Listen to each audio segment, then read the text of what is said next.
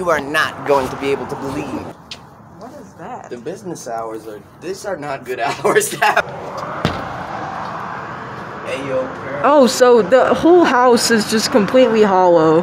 Can you get a shot of my fit? Do you think you could slip through there? But bro, it's more, it's more, um, This dick ain't free. this is free. Do you think you could slip through there?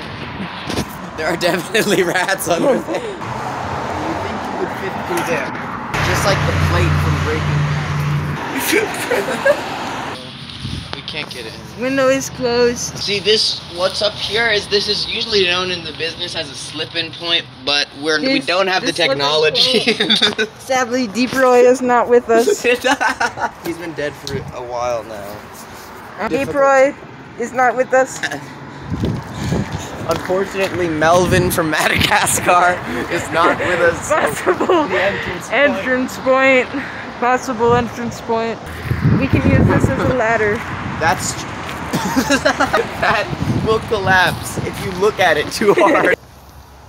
Raindrops falling on my expired debit cards. Don't know why I'm Raindrops falling late. on my I gotta be up by 10 Xbox. I don't know where I'm going.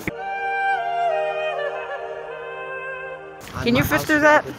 Open. What if the police end up going through this if we're like murdered? Raindrops falling on my Xbox. Bro, drop a freestyle bar. Don't say the rest. Yeah. no context. Don't put that on the video.